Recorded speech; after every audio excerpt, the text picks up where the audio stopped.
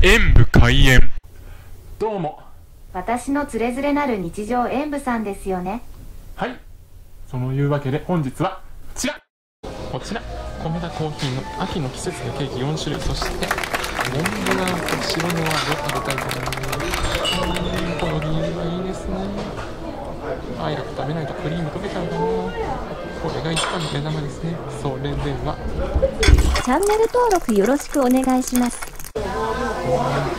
はい、近づけてみるとバターの豆乳香ばしくてア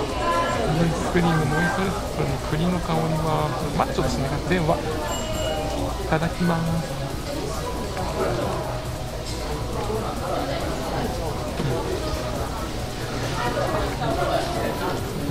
うわこのモンブラン外だけじゃなく中からも来るんだこれはすごいな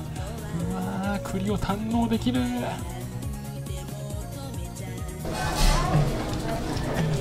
外側に栗のソースがかかってるだけでもって中にもモンブランペーストが入ってますなので栗の外からも中からも堪能することができて美味しかったです栗の新品はぜひ食べていただきたいですねねというわけでこれはこちらの点数としてるんですもう文句ないんです。それでは続きまして季節のケーキに早く食べてみましょう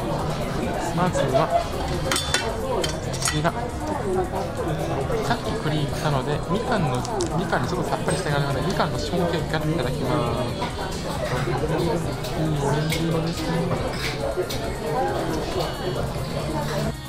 うん秋のケーキはやっぱりあれが強いですねこういうのは本当に美味しいあ一番はやっぱり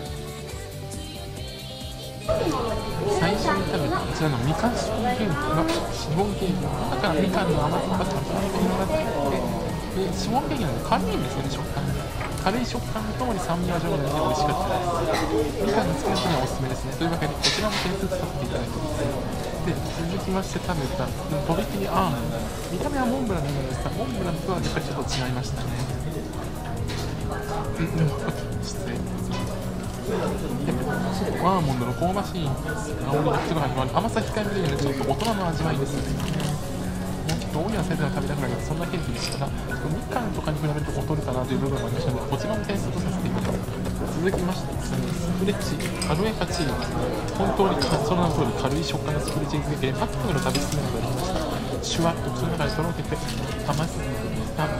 酸味が口の中に効いていてとっても美味しかったですがそれとちょっと一個性が弱いかなという。ことでこちらも点数とさせていただきます最後なんだ純クリーム純というだけあってクリームの甘さが口の中で滑らかに広がってきて美味しいモンブランでした。最初に食べたも白モン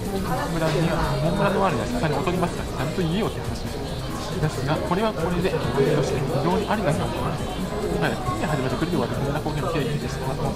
これも美味しかったのでこちらも点数としてやっぱり秋の梅は栗が強いです。ねというわけで。ご視聴ありがとうございました。コメントしていただけるとそしてよろしければ他の動画も見ていただけると動画を拡散していただけると嬉しいです。演武終演